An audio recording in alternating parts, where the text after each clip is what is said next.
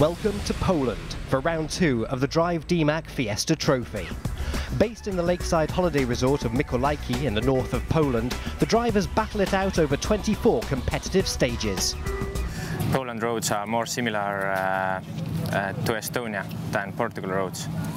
Here the roads are quite narrow, fast and sandy and most probably we will face uh, big ruts and uh, quite, quite rough surface at times. Welsh driver Tom Cave is no stranger to the Polish roads. He drove here when the WRC was last here in 2009. Back in Wales, we did we did a two-day test um, last week. Um, we covered about 200 kilometres of testing, so we we found out some you know some interesting setup ideas. The cars are identical. We, we, are very limited what we can change on the cars. We, we only can adjust um, two two settings on the dampers, and everything else is absolutely set by you know by M Sport. So. So yeah, it does come down to the driver and the coach at the end of the day, and it, and it all depends on you know who can break the laces. So yeah, it's, it's, it's, it will be an exciting weekend for sure. Day one, the drivers battle it out over three competitive stages in the afternoon sunshine. Tom Cave was confident that his knowledge of the area would pay off and was third quickest through the opening 14 and a half kilometre stage of the rally.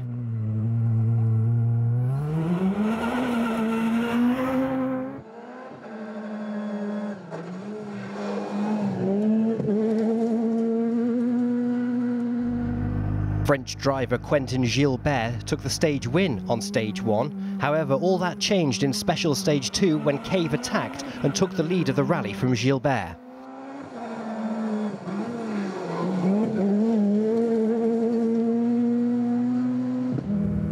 Drive DMACK Championship leader Sander Pärn was second quickest in stage one, but dropped time in stage two. He'd been working hard on his pace notes with his co-driver James Morgan.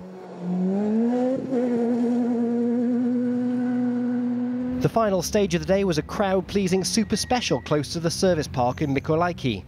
Jose Antonio Suarez took the stage win on the super special and then it was back to service at the end of day one.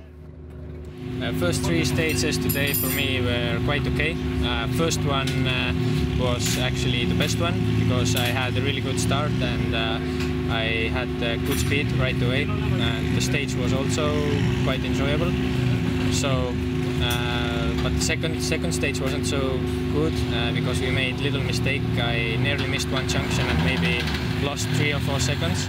Tom Cave was fastest on stage two and took the overnight lead. Yeah, very good. Uh, we have a we have a lead, which is good. Um, really enjoyed the stages.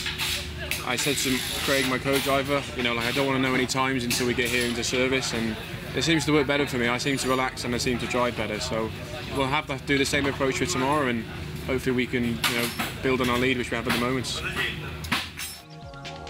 So after three stages in Poland, Tom Cave takes the lead, Quentin Gilbert is second, and Sander Pärn, championship leader, is third. Max Vatanen, son of 1981 World Rally champion Ari Vatanen, is lying 10th in the standings at the end of day one.